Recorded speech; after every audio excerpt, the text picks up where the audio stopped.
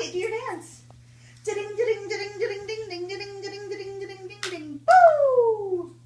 Oh, Uh we oh. just need to get mini bottles of water. Okay, have Daddy sing the song.